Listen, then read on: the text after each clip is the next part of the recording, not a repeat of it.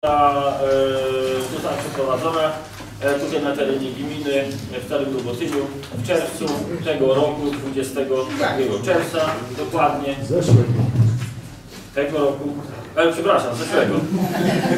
Zgadza się, już mamy 18, tak. W czerwcu, 22 czerwca 17 roku.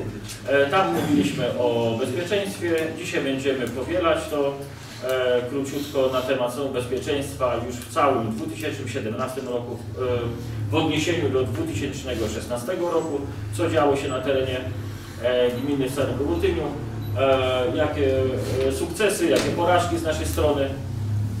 I króciutko porozmawiamy sobie na temat krajo- Krajowej Mapy Zagrożeń, która funkcjonuje już od 2016 roku. E, możemy korzystać i Państwo możecie korzystać z tej mapy. Króciutko informacje, w jaki sposób korzy- y, korzystanie z tej mapy. Przedstawimy e, pracę dzielnicowego, jego priorytety na 2018 rok. E, I wszystko będzie króciutko w tej prezentacji, którą postaram się bardzo sprawnie przedstawić.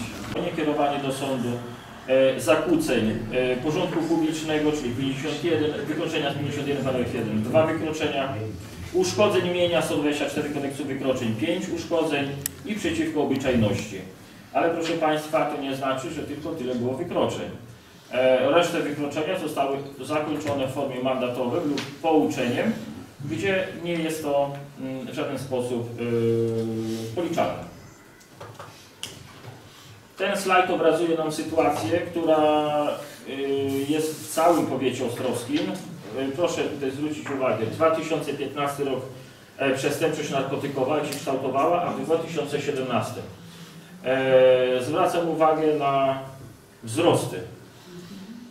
E, Szczególnie na całym powiecie zlikwidowano, Ostrowska Policja zlikwidowała 8 plantacji konopi indyjskich i to jest ponad 202 krzaki, o którym mówiłem.